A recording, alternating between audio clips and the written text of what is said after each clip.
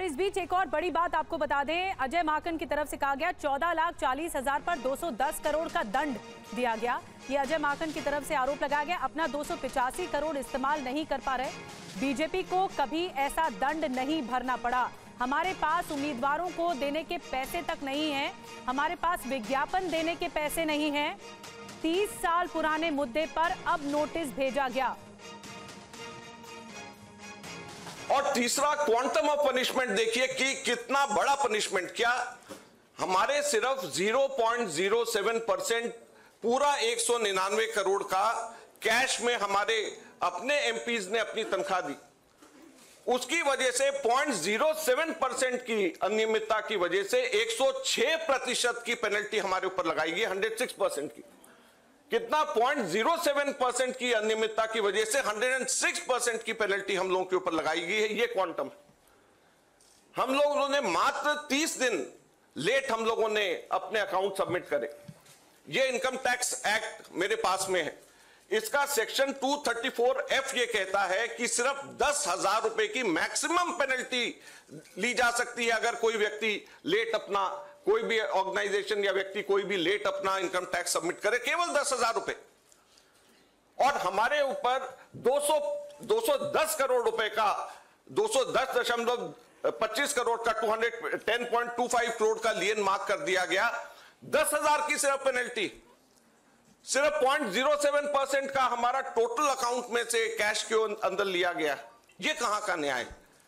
115 करोड़ रुपए फोर्सफुली हमारे bank account से इनकम टैक्स ऑफिसर्स ने बैंक मैनेजर्स के पास में जाकर के सरकार को ट्रांसफ़र करा दिया गया। वो अब हमारे पास में नहीं है। 115 करोड़ रुपया बैंक मैनेजर्स को जाकर के एक तरीके से डरा करके, धमका करके इनकम टैक्स ऑफिसर्स ने हमारे अकाउंट से इनकम टैक्स डिपार्टमेंट और सरकार को वापस ट्रांसफ़र करा दिया। मैंने बताया जैसे पिछले पाँच हफ़्ते से एक महीने से भी ज़्यादा हम अपने पैसे जो हमारे वर्कर्स ने इकट्ठे करे हैं, वो हम इसका, उसका इस्तेमाल नहीं कर रहे हैं, कर पा रहे हैं। ये कहाँ की डेमोक्रेसी है? ये कहाँ का लोकतंत्र रह गया? कांग्रेस पार्टी आज फ्रोजन आप सोचिए। हम आश्चर्यचकित हैं। रात भर सोते नहीं है हम में से कुछ लोग कभी कभी कभी कभी दो दिन, तीन दिन, जब सीसी की मीटिंग होती है, माननीय प्रधानमंत्री आते हैं, चार बजे प्रधानमंत्री यहाँ से जाते हैं। जब हम 10 बजे सुबह जगते हैं तो हम देखते हैं प्रधानमंत्री के दो दो रैलियाँ समाप्त हो चुकी है। जो देश का प्रधानमंत्री, जिस देश के प्रधानमंत्री सुबह चार बजे जाकर के, हम दो एक दिन में थक जाते हैं। हर दिन का रूटीन प्रधानमंत्री नरेंद्र मोदी जी का है। चार बजे जाना, छह बजे कहीं और पहुँच जाना, नौ बजे लोगों के बीच में रहना, और फिर चार बजे तक यहाँ कार्यालय में बैठक करना आपको क्या लगता है? कौन जीतेगा? पसीना और मेहनत पी एम पी से पसीना एम से मेहनत।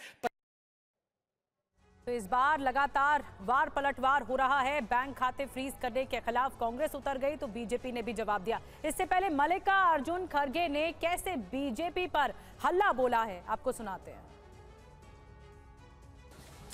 देश की जनता एक आम नागरिक एक देख सकता है कि बीजेपी ने चुनावी चंदा बॉन्ड से 56 परसेंट पैसे हासिल किए हैं। वही कांग्रेस को 11 परसेंट ही मिले हैं। और ये वो पैसे जो बॉन्ड से बीजेपी ने लिए हैं इसके अलावा जो कैश में इनके पास आता होगा तो कोई अकाउंट ही नहीं है। आप इनके खर्चे देखिए।